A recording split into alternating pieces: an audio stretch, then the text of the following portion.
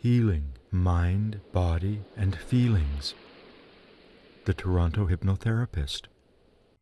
Hypnosis is an amazing tool that has real and measurable effects on the body and the brain, ones that have been measured by scientists and that can help you achieve deep and lasting change.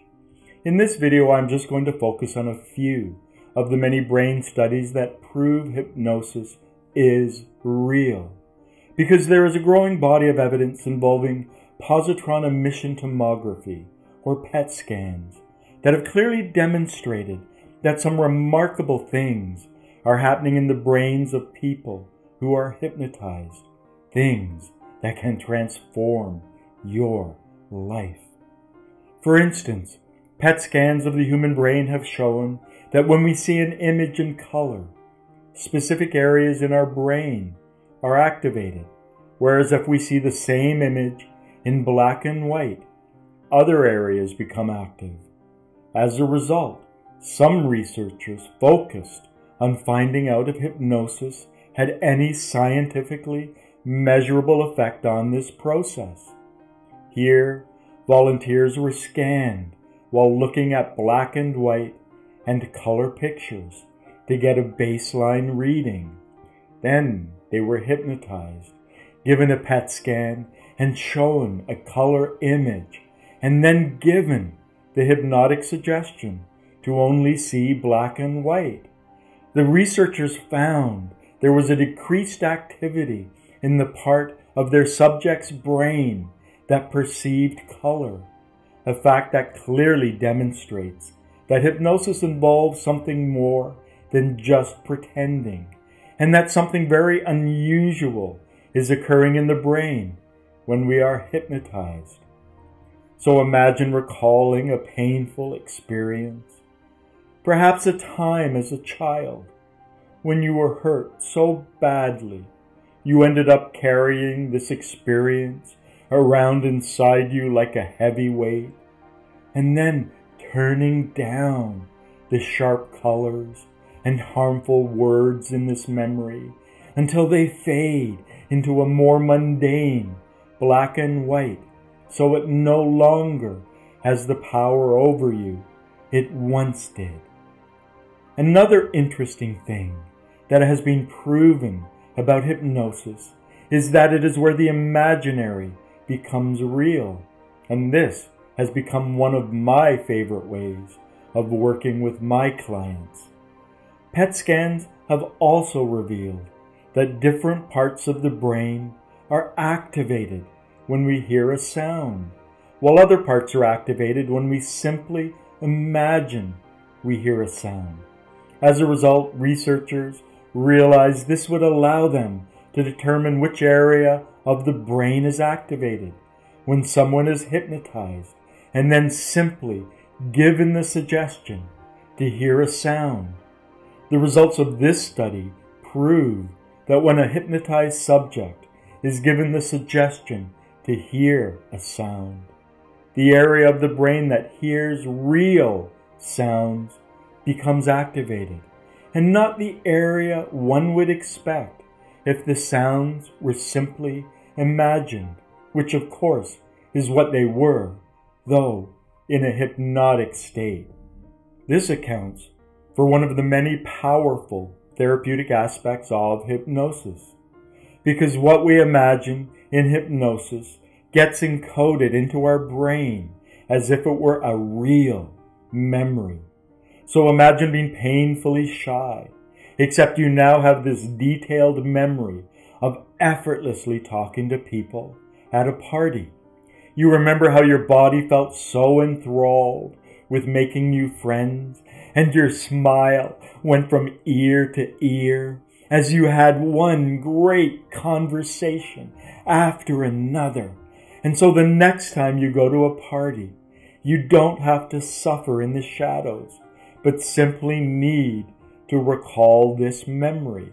Because if you did it once, you can certainly do it twice. Now, other studies back up the saying there is no pain until it reaches the brain.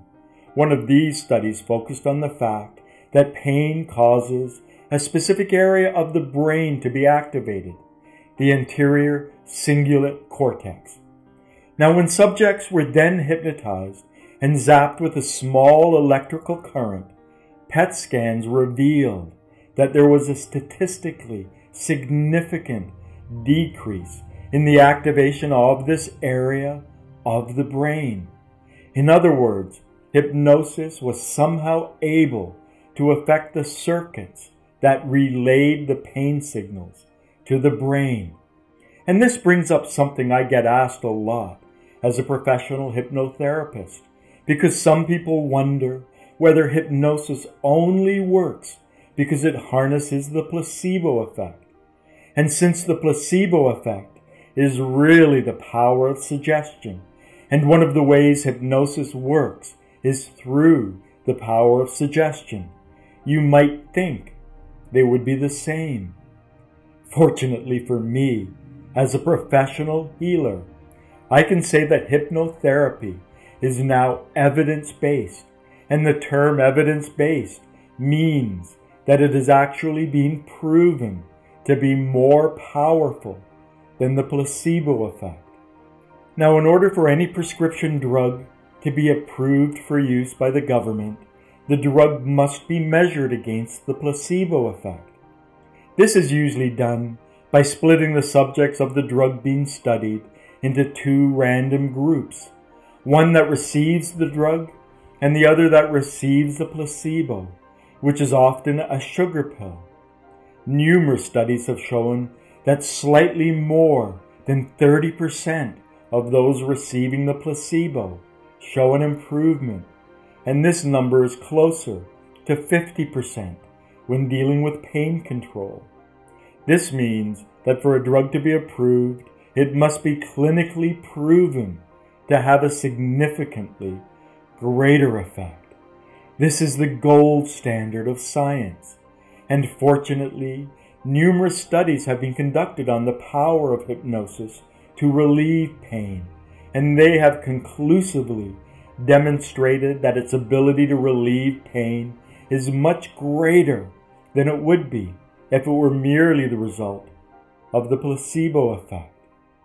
Other studies have also shown that when hypnosis is used to deal with pain, it has a different effect than a placebo, because rather than simply allowing you to tolerate more pain, as happens with placebos, hypnosis will actually prevent you from feeling pain in the first place. That is, it somehow prevents the pain from reaching the brain. Now, I do not want to go into this area of research in detail because it will be the subject of my next video. However, if you are in chronic pain, don't you owe it to yourself to explore a drug free alternative? Now, please keep in mind that skepticism is important to science and doctors are very skeptical of things that cannot be proven through the use of the scientific method. They want to see the numbers that prove things work. This is why it is really nice to say that hypnosis has been endorsed by the British, American, and Canadian medical associations because it has been proven in so many legitimate scientific research studies to really work, that it has the exalted label of being evidence based.